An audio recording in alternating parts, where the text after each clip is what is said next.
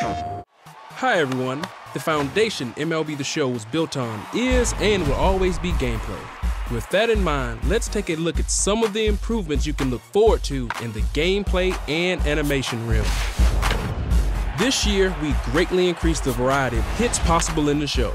There are curving and slicing grounders down the lines, bloops, Texas leaguers, and top spin line drives, just to name a few. All generated by an accurate model of the ball spinning off of a bat. In previous versions of the show, we were modeling the spin that would occur if the ball had hit a wall instead of a bat. Our new accurate model is a game changer. The location and spin of the pitch, angle of the bat, and launch velocity are all factored into the spin, allowing for more realistic and varied ball flight paths.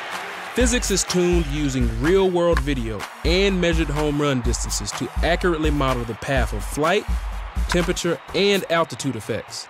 MLB The Show 17 has the most dynamic hit variety ever in the franchise. There are hundreds of thousands of new possibilities this year. We're injecting more humanity into our artificial intelligence this year. The AI will behave even more like a human. Examples include not always running to the exact spot on balls hit off the wall, CPU step off timing variety, fake throw timing variety in rundowns, base runner, and throw decisions. The goal is to continue our pursuit in having the AI controlled players react more lifelike instead of seeming to know exactly what's going to happen on any given play. A threat on the base paths can terrorize the defense if not dealt with appropriately. The systems that relate to pickoffs, steal attempts, tags, and the catcher attempting to throw a runner out all get more focus in the show 17. Today we'll just focus on the catcher throwing meter. Be sure to join us on the gameplay live stream for more details. The catcher throwing meter was introduced to give you more control on thwarting steal attempts. The meter works like this. The moment you notice a steal attempt is being made, hold down or tap the triangle button to start the meter. If you're holding down on triangle, let it go when you see the accuracy bar rise into the green sweet spot for an accurate throw. Your catcher's arm accuracy attribute will shrink or grow the size of the sweet spot, and how hard the catcher throws to the base will be decided by his arm strength attribute. In closing, with the addition of the new catcher throwing meter and cat and mouse gameplay, you can expect more control and granularity on the base path this year.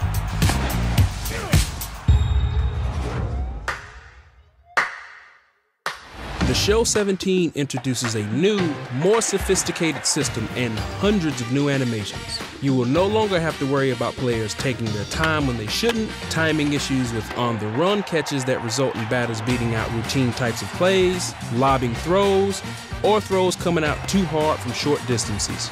The system is smarter and way more efficient.